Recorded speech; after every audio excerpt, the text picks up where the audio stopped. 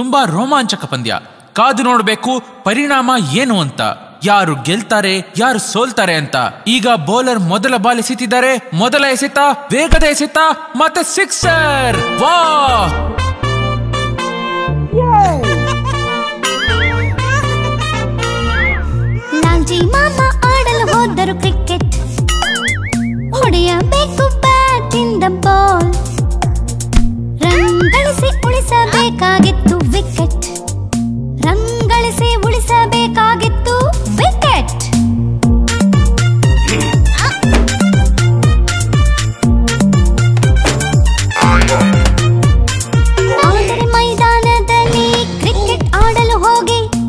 ಓಡಿ ಆಟ ಆಡುವುದು ಸುಲಭವೇ ಅಲ್ಲ.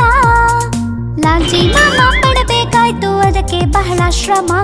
ಪ್ರತಿದಿನ ಮಾಡಬೇಕಿತ್ತು ವ್ಯಾಯಾಮ.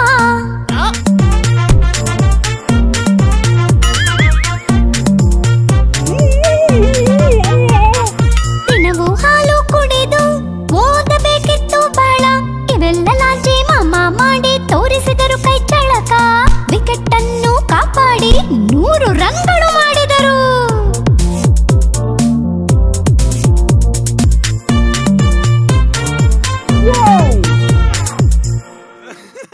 ಈ ಪಂದ್ಯದ ಶ್ರೇಷ್ಠ ಆಟಗಾರ ಬೇರೆ ಯಾರು ಅಲ್ಲ ನಮ್ಮ ಲಾಲ್ಜಿ ಮಾಮ.